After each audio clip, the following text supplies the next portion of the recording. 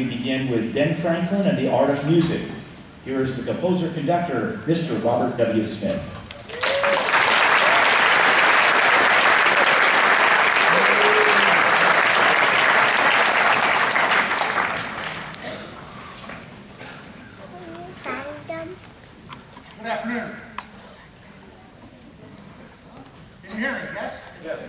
Excellent. I just want to say just a couple of uh, just a couple of comments about the piece we're about to play.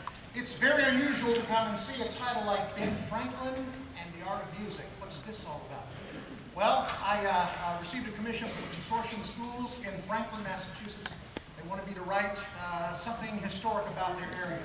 In doing the study, I found out it's called Franklin, Massachusetts because ben Fra Benjamin Franklin donated his personal library to this particular town and started the first public library in the United States of America.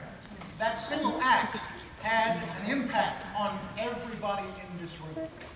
When you really study Benjamin Franklin, brilliant man, but a true Renaissance man, a scientist, an inventor, a politician, a legislator, a printer, a publisher, and an artist, and an artist.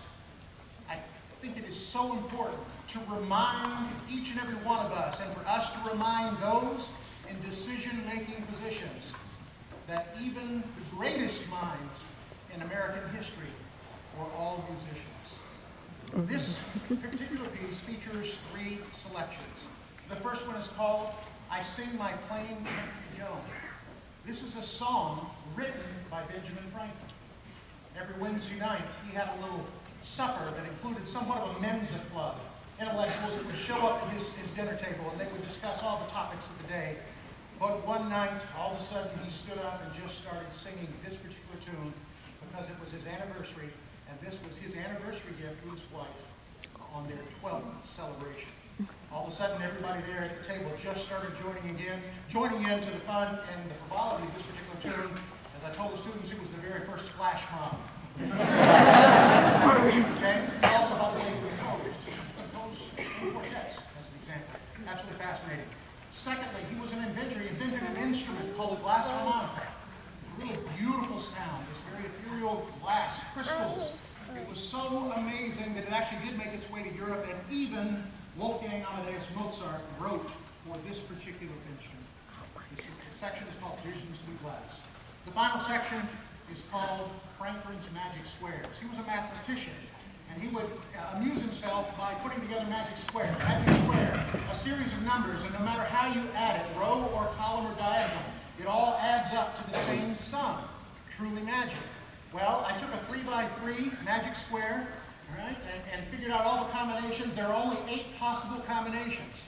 Then I took those numbers and applied it to different diatonic environments just to see what music would surface. It says composed by Robert Smith, but I must be perfectly honest, the magic square composed the last section of this piece. What you're hearing is the numeric sequence of Benjamin Franklin. And uh, then I was quite surprised for all of our musicians, directors in the audience, when this melody actually creates quite an amazing fugue. And uh, that truly was the magic in all of this for me. So with those historical connections and hopefully the, the, uh, the connections to all things right in this world, now hopefully the title of Benjamin Franklin and the Art of Music has made it home. We hope you enjoy